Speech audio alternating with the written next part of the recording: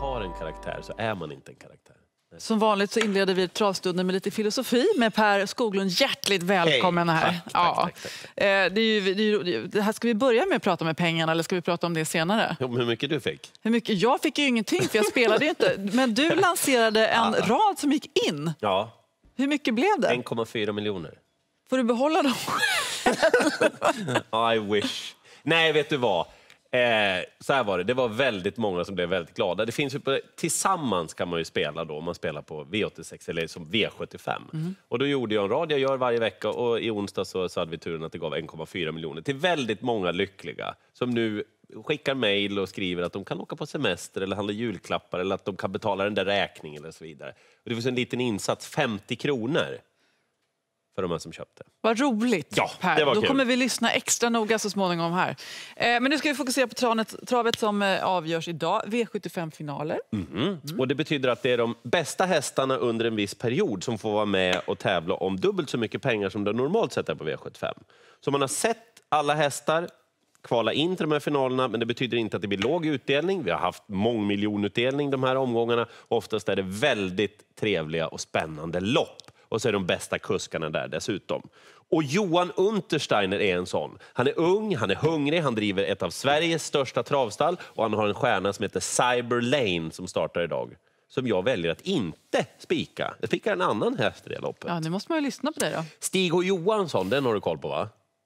Eh, han har fått en häst som heter Diamanten i träningen. En väldigt uppmärksammad flytt av en häst som har tjänat flera miljoner kronor hos Robert Berg. Och nu möter den hästen den här Cyberlane. Så vilken match det blir däremellan. Hur är, den, är Cyberlane bra? Han är lika bra häst som du är programledare. Så! Det, det varierar med andra sluta nu.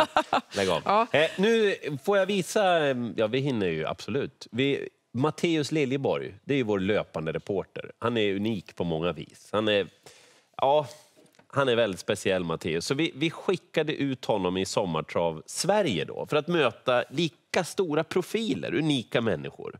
Och en av dem som han mötte i somras heter Nils Norelius. Han driver ett jättelitet stall. Han har få hästar, men han har tagit flera V75-segrar. Så att, mycket nöje. Nils och Matteus. När jag blir pensionär, då ska jag bo på landet, ha en riktigt bra travhäst och så drar vi runt på tävlingar och bara glänser. Precis som Nils Norelius i Säffle. han kan räkna in en V75-seger där på stallbacken. Nils Norelius när hans Barkivius Mingo vinner. Ja, här har ni honom, Nils Norelius med sin fantastiska sexåring Barkivius Mingo. Du köpte hästen när han var tre år och nu tre år senare har han tjänat en miljon. Hur känns det? Ja, det var ju över förväntningarna, det, det måste ni ju säga. Det, det trodde ni ju aldrig. Ska vi gå in med Ja. Här kommer jag. Vad betyder det för dig att ha Barki, Barkivius Mingo i stallet? ja, det betyder ju väldigt mycket det är ju så roligt att vara med i lite större sammanhang. Och kanske slå er fullblodsproffs då, ibland. Så det har vi ju gjort. Det, det mesta får vi ju stryk, men någon gång så tar vi dem ju. Det är ju väldigt roligt. Hur känns det då? Ja, då blir jag stolt.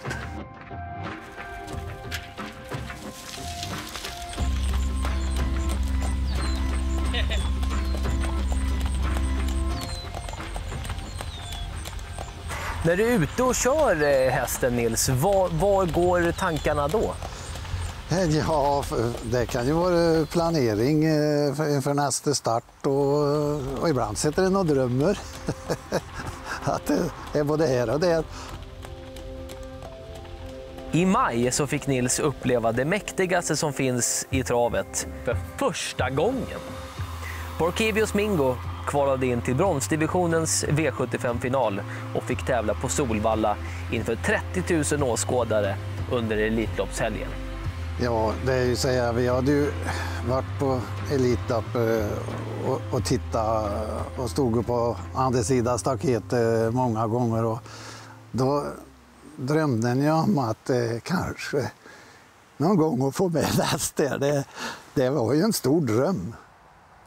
Kommer du ihåg att jag intervjuade dig inför loppet där på Solvalla? Ja, då var jag stressad.